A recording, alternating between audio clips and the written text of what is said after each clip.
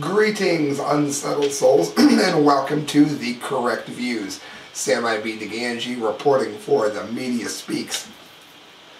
Um, oh, and I'm gonna, I guess I should mention this. I will be at the Arcadia Grill on a signature bomb that is going to be going on uh, November the 2nd. So it's right up on top of it. There's going to be a McKinley-Massillon game there. I'm going to attempt an Ohio House run. I'm trying to get the nomination uh, for the Libertarian Party and I need all the uh, anybody in Stark County and then uh, in my district 49. Please do me a favor and head to the Arcadia Grill on November 2nd and help me get this done. Friends, I'm going to go on to um, ynetnews.com. This is why I've, I've said repeatedly that we needed to watch the over glorification of that dolt because just because I should say Russia is on the right side of history in this uh, Edward Snowden affair does not mean that Russia is by any stretch of the imagination uh, making the world a better place. Report Russia to offer Iran S-300 missiles and a new nuclear reactor. Giving a nuclear reactor to Iran is like giving a hand grenade to an infant. Stupid idea. First of all, it's seismically active. Second of all, they've already proven that the way they handle nuclear uh, material is begging for a disaster. And it, it is obviously going to be a target. Nobody should have any nuclear reactors, but nobody should have one less than them. I don't care how unpopular it is that they said it. It's going to be another Fukushima. And I've got news on that coming. Russia will offer Iran a new supply of S-300 missiles and assistance in the construction of an additional nuclear reactor in Bushehr. Russian paper uh, Kommersant reported Wednesday. Yeah, Mayak worked out really well for you, Russia. Chernobyl, another good one. How about how many submarines have you sunk to the bottom of the ocean? You're, you're, you're an expert on all things nuclear. The proposal comes three years after a previous agreement under which Russia was expected to transfer five S-300 batteries to Iran was canceled. A week and a half ago, Russian President Vladimir Putin confirmed in an interview for AP that Moscow supplied Syria with computers for the system, but that the shipment was not completed. It goes on, according to a source within the Kremlin, Putin decided to grant an Iranian request to supply the Islamic Republic Republic, yeah, nice name, with the high-end S-300 air defense system with a deal estimated at $800 million, which will also include coordinating the construction of an additional nuclear reactor in Bushehr. The only thing they're going to do here is uh, create a unmitigated nuclear disaster in Iran. Mark my words, this is a disaster unfolding before your very eyes. Alexei Pushkov, the Kremlin-connected chief of the Foreign Affairs Committee in the lower house of parliament, told lawmakers that Moscow hopes that the U.S. will back Russia's proposal for Syria to put its chemical weapons under international control for their subsequent dismantling. Um, basically, Russia's trying to um, trying to grandstand, trying to do what China's doing, and just because America's going down the tubes, and it is, um, these these tin horn dictators think that they're somehow going to step up. All they're going to end up doing is really ridiculous things like causing nuclear meltdowns to occur. The news came amid reports of a renewed bid to restart international peace talks regarding Iran's nuclear program. I don't care if they're not trying to build a bomb with it, and I do think that their intent is to make a dirty bomb with it. I very much believe that. Even if it's not, they've already hidden nuclear leaks there. They are incompetent at handling nuclear elements. This, this is such a mess. And I don't know. I don't know what it's going to take for the world to get away from this reliance on nuclear. For one thing, man-made global warming is a lie. For another thing, even if it wasn't, the way to go is not nuclear. Why? Well, let's go to this. JapanTimes.co.jp Water radiation soars at Fukushima number one. Radiation levels in groundwater under Tokyo Electric Power Company's Fukushima 1 reactor plant are soaring, TEPCO said Friday after taking samples from an observation well. Now, for those of you that watch my show now and again, you're like, oh, he already reported on this. No. Every time I talk about the radiation water leak, it is almost always a separate leak. It is not the one that was reported on prior. TEPCO said 400,000 becquerels per liter of beta ray emitting substances such as strontium were detected in water sample Thursday from the well located some 15 meters from a storage tank that leaked about 300 tons of highly radioactive water in August. And it, it's, it's leaking 300 tons of radioactive water into the ocean every single day. The level of becquerels, a record high for water in that well, was up 6,500 fold from the 61 becquerels found Wednesday. TEPCO was planning to pump groundwater up from different wells about 100 meters from the leaky tank for release into the Pacific Ocean before the water flows into the damaged reactor buildings and becomes heavily contaminated with radioactive materials. Now, before I go on, this nuclear uh, reactors, or the nuclear reactors that are melting down over there, made by General Electric. Maintained, obviously, by TEPCO. My point being, as highly advanced as Japan and America is, we cannot prevent these kinds of things from going on. Forget about sabotage. Forget about warfare. Forget about suicide bombers and dirty bomb makers and all of that from a technical, technological standpoint, is anybody watching this thinking that Iran is going to do any better? You believe that Iran is going to do a better job of running a nuclear reactor than the U.S. Oh, uh, well, let's remember Three Mile Island over here. Better, be better than Japan at Fukushima. But Iran's smarter than both of those countries. They're ready for a nuclear reactor in a war zone.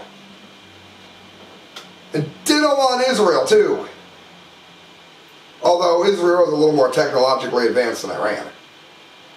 TEPCO was planning to pump, oh, I read that already, but the plan appears in jeopardy because the sharp increase in the levels of radioactive materials in the observation well suggests the radioactive groundwater is spreading.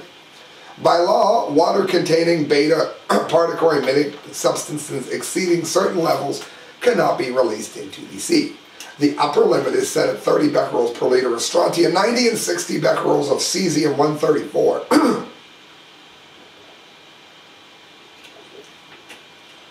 those numbers, by the way, those are not safe. That's just where you know, you're not going to immediately drop dead by being around it. Immediately being the key word there. TEPCO also said water collected Thursday from the drainage ditch near the leaky tank contained 34,000 becquerels of beta particle emitting substances per liter, compared with 2,300 becquerels the day before. Again, a becquerel is one reaction, one explosion in your body, uh, microscopic level, of course, and uh, each one of those can lead to cancer. It is believed some 400 tons of radioactive groundwater is flowing into the Pacific daily. Oh, great! I was. Uh, it's, worse than I thought. To quote Alex Jones. Officials said Thursday they will solicit proposals from both domestic and overseas nuclear expert and firms on how best to scrap the ruined reactors at Fuku number one. Friends, let me tell you something, and this can't be overstated. They, they, they're I'm going to use the cigarette analogy that, uh, that I read, and I'm going to be doing it. Uh, my um, I do a monthly massive Fukushima update, and it's the 29th, so it's going to be coming. Uh, so more on this then, but I'll give you a heads up. Uh, imagine a packet of cigarettes. You can pull one cigarette out at a time. Although if it's smashed or dented, then it might not. They might catch. They're going to try to remove the nuclear fuel from Unit 4 starting in like two weeks. If one of those cigarettes, fuel rods, touch each other, boom! And it's it's much worse than the combined, it's like 1,400 times worse than the Hiroshima bomb or something. So what they got over here is a mess. And uh, tying it into my first story, I, this is what Iran wants to bring into their country. Last of the nuke news here. Michael Savage launches investigation into missing nukes. Uh, God bless Michael Savage. Uh, he's a little more socially conservative, obviously, than I am. But I used to listen to him every day when I drove taxi. And he, you know what? He, he's a good, good man, I'll tell you that. Radio host calls for media attention over missing nuke report and termination of top nuke commanders. Basically, people, um, correct me if I'm wrong, when you're done hearing me read this, it sounds like America, or certain factions in the American government, were contemplating, at the very least, creating a false flag event, letting one of our nukes go off and blaming it on the enemy. And certain nukes are missing, and generals that protested it have been fired. Do you understand what I'm saying? Are you, are you just like, we're ticking on your phone? Listen, it looks like people in our government were contemplating setting off a nuclear bomb in a populated American city to blame it on our enemies. Since Alex Jones and I originally reported on the high-level military intelligence revealing that an unsigned nuclear weapons transfer had taken place back on September the 3rd, an absurdly high number of red flag events lending credibility to the intel have followed. From the termination of the second highest nuke commander in the country on the exact same day as the leak, Senator Lindsey Graham warning of a nuclear strike on the exact destination of the missile transfer, the red alert scenarios continue to pile up. Conspiracy, right? Can you ask too many questions when you're dealing with something like this? I don't think so. Now Michael Savage of the Savage Nation is launching an investigation into the issue and calling upon the media to properly address the situation. Um, uh, they keep saying I, which you're not supposed to do in an article, but it's Anthony Gucciardi, and he can do whatever he wants to do. I joined the Savage Nation to discuss the intel timeline of the nuke transfer specifically highlighting the fact that the transfer was unsigned for and completely off of books. Originally covered by Savage earlier this month, following the suspension and termination of two top nuke commanders in the nation, the missing nuke intel has since spread internationally, and still the United States media has failed to even mention it despite the vital events that continue to point towards its accuracy. I'm going to read the last of it here in a minute, but for those of you that know, I, am I'm, I'm a big student of history and I have a very, very big interest in World War II. There were times in uh, during the Second World War that Germany was getting annihilated, and Germany was doing all kinds of really rotten things to its own people. And the people in Germany didn't know anything about it, but the rest of the world did. Stalin did the same thing. Mao, Mao made an entire career. It's all Mao did. Um, my point being, again, nations that do this have not been on the right side of history. And now we're doing it. But the fact is nothing new, considering the reality that even the local media was quick to ignore sources revealing the unsigned transfer to them. As usual, the mainstream media is definitely afraid of crossing the establishment. After all, it's who grants them their reach and oftentimes funding. The brief report from the top-level military source, which was written in a rush to get the information out, reads, Dyrus is beginning to, mo to move out nuclear warheads today. I got a tap from Dermo earlier. he said it was the first time they have been even acknowledged since being put there in the 1980s. No signature was required for transfer, and there was no directive. He said that Dyrus commander was on site to give authority to release. No one knew where they were going, really, but the truck driver said to take them to South Carolina, and another to pick them up from there. And uh, if for any reason that doesn't alarm you, then that's because there really is something wrong with the thinking part of your brain. I don't want to call that up yet, but that's okay. We're going to get to that story soon. I was going to call up Bud K, but forget it, I'm just going to advertise them. Guys, go to themediaspeaks.com and click on the Bud K ad. When you do, you will not only get the some of the amazing uh, merchandise I'm going to be telling you about, but you're going to be helping the Media Speaks. You're going to help us a lot. But you got to go to themediaspeaks.com and click on Bud K. Do it in that order so that they know that you came from our site. It's how we keep the operation going. I mean, we, we don't make a fortune at it, but they've got good merchandise. We support that. They support us. And, you know, you're going to want to see this stuff. It's really good stuff. Check this out. The $5 wallet savers. I've just been addicted to this. this is really quality gifts. For, they're practically giving the stuff away. Listen to this.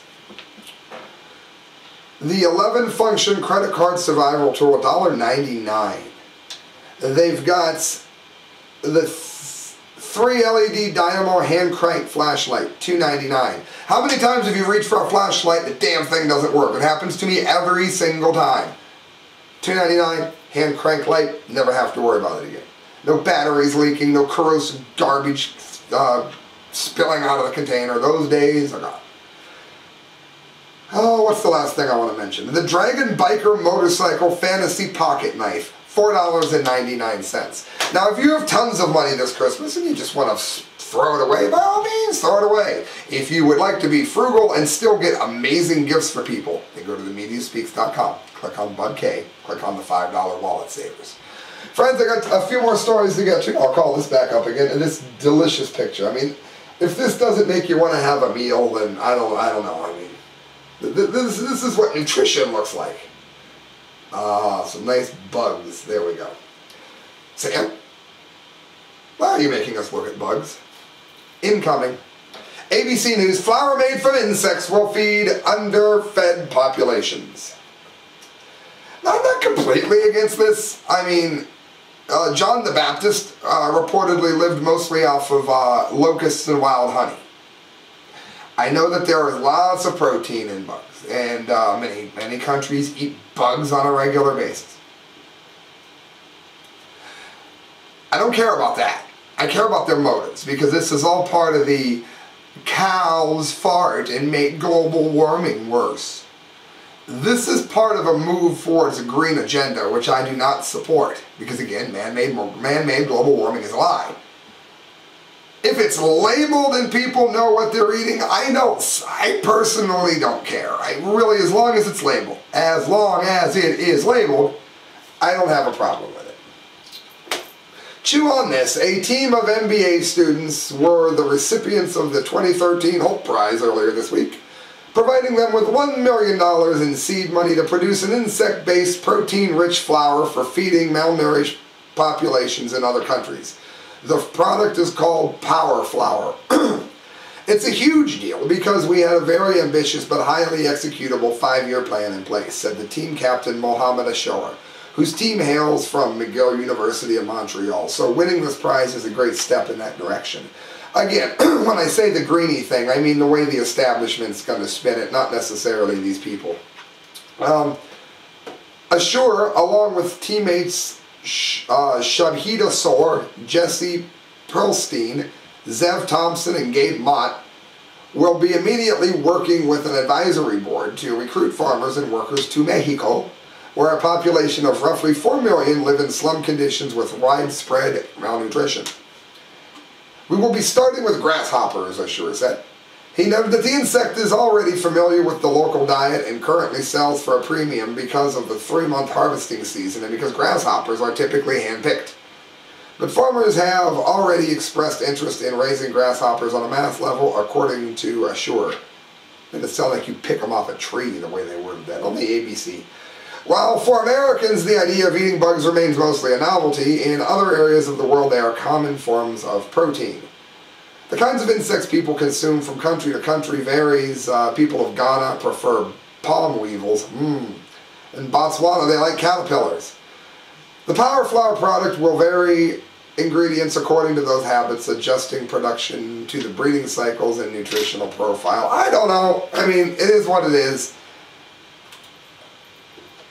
I, I wonder what the back motive is again, but in and of itself, I don't know. It seemed like such an odd story that I wanted to cover it. I'll be interested to see if I get any comments uh, comments on that. Did, did it make anybody hungry? If it did, I, D-Lake will be like, it made me hungry. All right. Um, undergroundhealth.com. Man diagnosed as comatose for 23 years was actually fully conscious but paralyzed. This is one of the most terrifying stories you will ever hear. Imagine being stuck in your bed, unconscious but unable to speak or move for a quarter of your life, while everyone around you thought you were just a comatose, quote, vegetable. Again, they murdered Terri Schiavo, and this is more proof that they did. Uh, again, it was minor differences in that case, but it, came to mind. This is what happened to 50-year-old Rom Houben of Belgium, who back in 06 and later reported in 09 was discovered to have actually been fully conscious, just paralyzed for all these years following a near, near fatal car accident that he suffered back in 1983. I was 10. In one of the most nightmarish thoughts imaginable, being stuck in a lifeless body but unable to communicate with anyone for a full 23 straight years. Somehow Houben was able to survive this unimaginable experience that shatters much of what the medical system thought that it knew about brain damage and being unconscious. The entire coma diagnosis process, as we currently know it in fact, is now in question, as many more allegedly comatose individuals out there could actually be fully conscious and aware of their surroundings. I would love to know, uh, if he did in fact stay sane, how did he stay sane? I mean, people. 1983. According to UK's Guardian, Houben was essentially been a prisoner of his own body since the early 80s, unable to communicate with nurses, family, and others who continually tried to communicate with him. It was not until 06, when a new state-of-the-art PET scanning system came onto the scene, that Houben's caretakers came to realize the error of their assumptions. Houben had all along been able to hear and understand life, as it was taking place around his otherwise lifeless body. I screamed, but there was nothing to hear, said Houben via a special keyboard that was made for him following the discovery. I traveled with my thoughts into the past or into another experience altogether. I was only my conscious, it was only my consciousness and nothing else, added the former engineering student who speaks four different languages about how he coped with his vegetative life.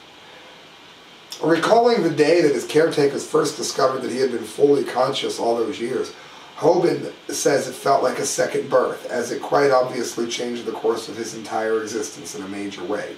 All the anger, powerlessness, and despair that Houben felt all those years, which he says he soothed away through meditation and other desperate means, was gone in an instant. I don't know how you can meditate that well, but thank God he could. Nearly half of all individuals currently diagnosed as comatose could be awake. You got a loved one that's comatose? Go talk to them. Let them know that you know this. See, even even if even if uh, you can't immediately do anything about it, let them know that you know this. It'll mean the world to them. Imagine being them. That's why I'm reporting on it.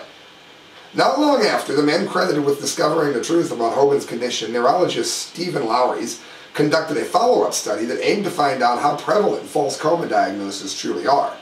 Much to his surprise, this expert from the University of Liège found that as many as 40% of all people currently diagnosed as being in a comatose or otherwise vegetative state are more than likely fully conscious but unable to communicate just like Houben was.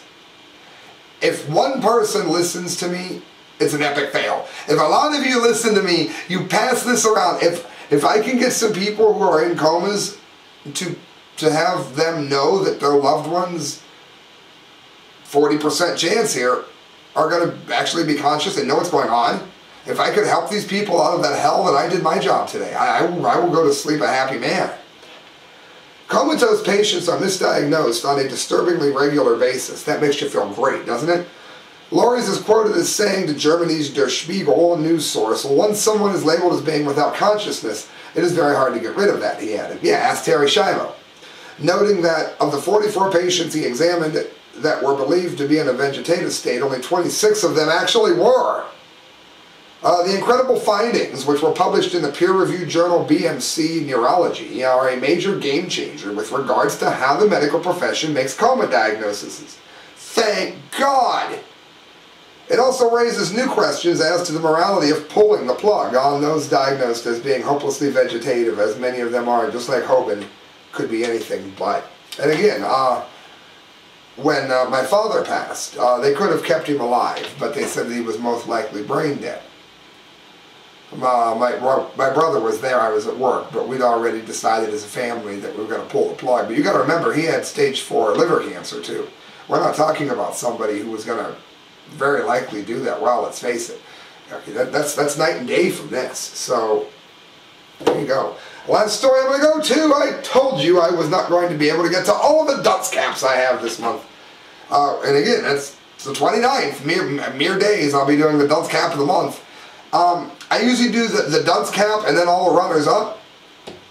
People, there are so many dummies this month that that's impossible. I have literally, oh look, there's my Bud K picture. Halloween special. There are so many dummies that it would be absolutely impossible for me to get to them all in one story without that installment of the show being like 90 hours long. So I got my picture of it in my outhouse up, and I'm going to let you know right here who one of the runners up for the Dunce Cap of the Month award is. Now keep in mind, the dumb winner is still dumber than even this. CNSNews.com open for business. Government to erect $98,670 outhouse. And why is America backpedaling? The Federal Bureau of Land Management, BLM, recently paid $98,670 for the purchase and installation of an outhouse at the Swede Trail Park Head in Alaska. Say what you want about Sarah Palin. Again, uh, she's not the world's greatest politician, but she was right about the waste. And uh, again, now that she's gone, uh, off, off it goes.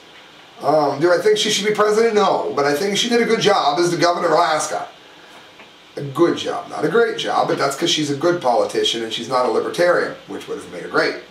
The purchase includes a single vault Romtec 1011 Aspen single prefabricated waterless toilet and its installation at the parking area for the trailhead. KG Moshevik of the BL, BLM tells CNSNews.com almost half of it, contract expenses, is for the cost of the toilet. The Oregon-based company Romtec lists the Aspen single model on its website for as low as $9,999. But BLM says the price they paid likely includes shipping to Alaska. What they do, walk it on someone's back? At the cost of all the materials that will have to be taken to the site, there will be earthwork that will have to be done. On September 20th, the contract to install the toilet was awarded to Big Street Construction Incorporated of North Pole, Alaska. The BLM tells CNSNews.com the construction company is located about three hours from the installation site. In other words, it's not traveling to Alaska. They just debunked that. So where did all that money, from $9,000 to, what did I read that was it, from $9,999 to $98,000 when the company building it and putting it together is only three hours away. When we're talking about this trailhead, you turn off this highway, it's a Denali Highway, onto an unpaved area. You drive in maybe a quarter of a mile, I would consider it to be remote. It's a remote toilet! The BLM says that Swede Park Trailhead is a popular location and up to 80 vehicles at a time can be parked there. The BLM has considered this issue carefully and determined that construction of the facility is in the best interest of both the thousands of visitors to Swede Lake Trailhead and the surrounding area, which has been badly fouled by human waste and sanitation products. People have already traveled a distance to get to this trailhead in an area that's very, very little in any way of services, uh, says. So you have people camp at the trailhead before taking the trail. As you can imagine, many people can generate a lot of human waste. Still did not say why it jumped from $9,000 to $98,000 when the company is three hours away. I'm listening. BLM crews then have to go out on an area like that and collect waste by hand. It really becomes a sanitation issue. The $98,670 contract does not include the pumping out and maintenance of the facility. Those issues are addressed in a separate contract. And there you go. That is the way a great country falls further and further down the toilet. Friends, Sam IB reporting for the uh, Media Speaks. It is the correct views that you are listening to. I'm trying to run as a libertarian for the Ohio House, and to do so, I need signatures. So please meet me November 2nd at the Arcadia Grill in downtown Canton. There's going to be a parade. There's going to be a McKinley Massillon game going on. It, it's going to be a party. 9 a.m. to 1 p.m. Come on down. We're going to have breakfast together. You cop on the webcam. Start talking away. More, I've got more than welcome. More than enough room for you to sit and chill. I'll probably have some guests popping in and out too. I'm working on that as we go.